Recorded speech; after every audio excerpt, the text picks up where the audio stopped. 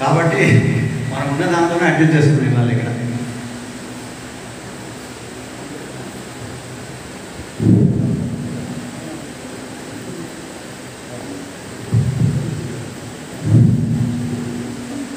శ్రీ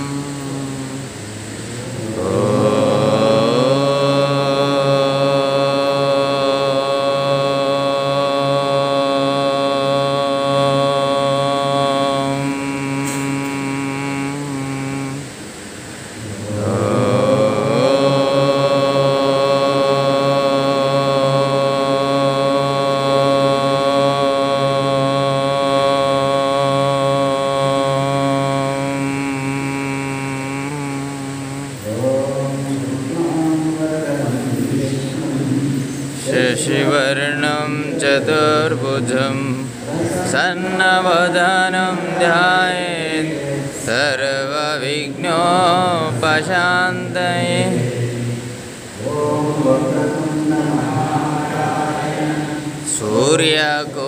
सूर्यकोटिसमप्रभा निर्विघ्नं कुरु मे देव सर्वकार्येषु सर्वदा नमस्तुभ्यं वरदे कामरूपिणि विद्यारम्भं करिष्यामि। सिद्धिर्भवतु मे सदा। पद्मभद्रनाक्षि पद्मकेसरवर्णिनि नित्यं पद्मालया देवीं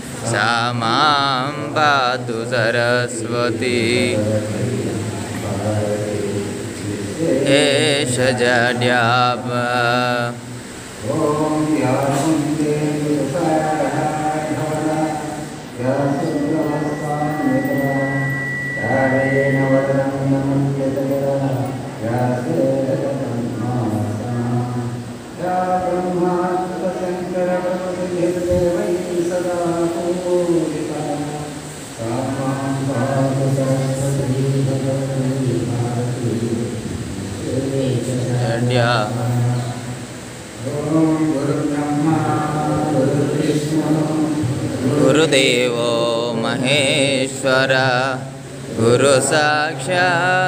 परब्रह्म तस्मै श्रीगुरवे नमः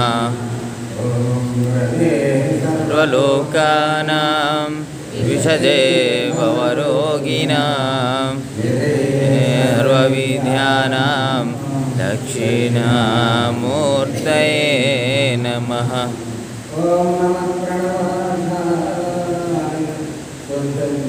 ऐकमूर्तये राय प्रशान्ताय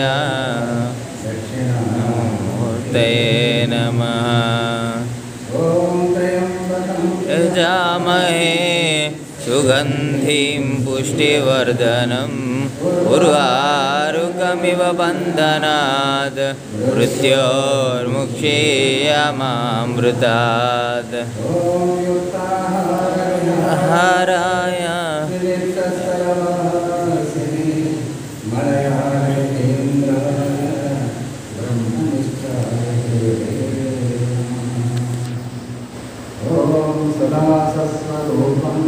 चिदानन्दगन्धं जगत्सम्भवस्थानसंहरयितुं स्वभक्तेच्छयामानुषं दर्शयन्तं नमामीश्वरं सद्गुरुं साईनाथम् ఓం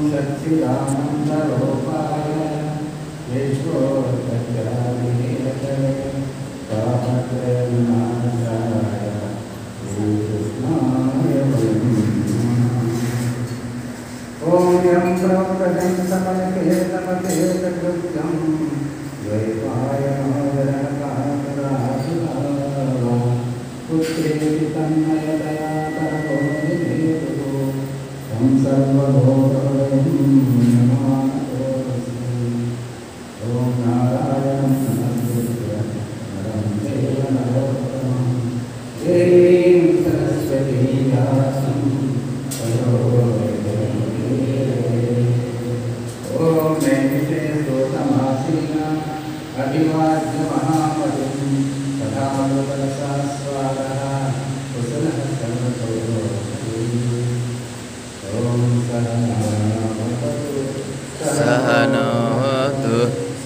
वीर्यं करवावहै। तेजस्विनामधीतमस्तु मा विद्वेषवै शान्ति शान्तिः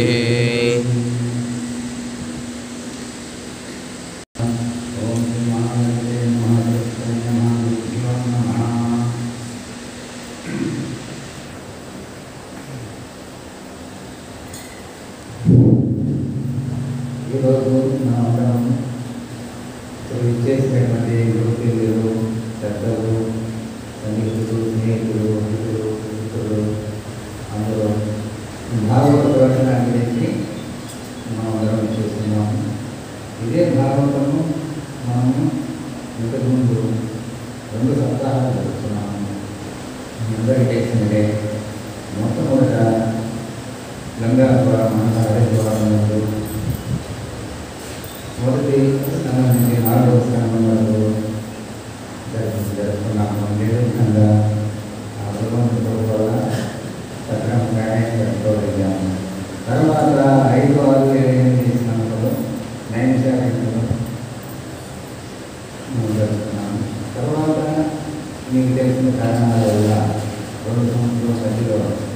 ఆగిపోయి బృందావనంలో అందరూ నిశ్చయించారు ఇక్కడ చెప్పుకుంటే బాగుంటుంది. ఆ విధంగా మనం బృందావనం ప్రారంభించడానికి ప్రారంభం ఎనీహౌ మనకి లేటుగా అయినా అనుకున్న ప్రదేశంలో అనుకున్న ప్రకారమే జరుగుతున్నందువలన మనకి ఆ కృష్ణ పరమాత్మ అనుగ్రహం ఉన్నట్టుగా మనము గుర్తించగలిగాము. ఆయన అనుగ్రహం ఎల్లవేళ ఇదే విధంగా మన మీద ఉంది మన సప్తాహం పూర్తయ్యే వరకు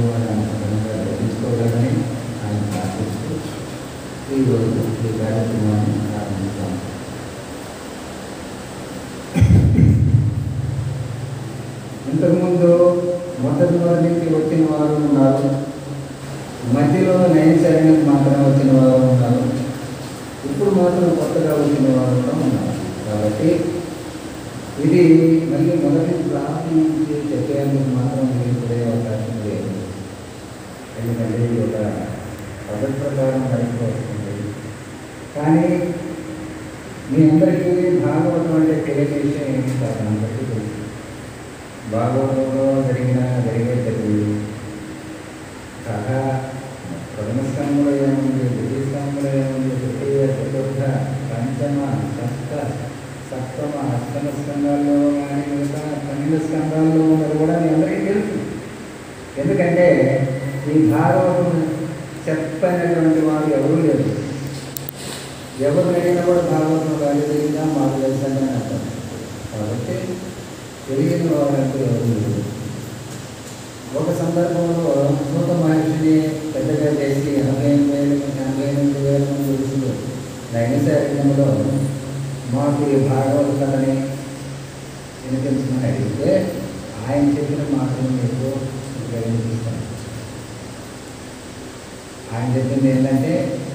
అష్టాదశ పురాణములు నాలుగు వేదములు షడంగములు నాలుగు నాలుగు నాలుగు శాస్త్రములు చతుర్దశ కళలు అరణాలు తెలిసినటువంటి అంటే సూత మహర్షి ఏమంటారంటే ఆ ఋషిని ఉద్దేశించి